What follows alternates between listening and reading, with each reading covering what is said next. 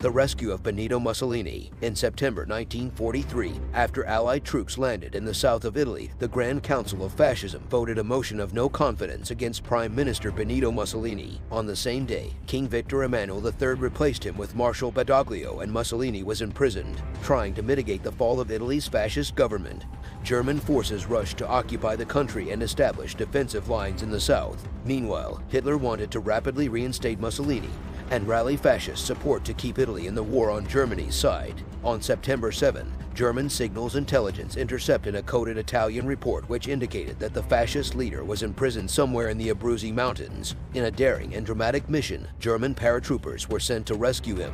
The mission was a success, and Mussolini was flown to safety by a German plane. The rescue of Mussolini was a propaganda victory for the German forces and a morale boost for their supporters, even though it would ultimately not change the course of the war.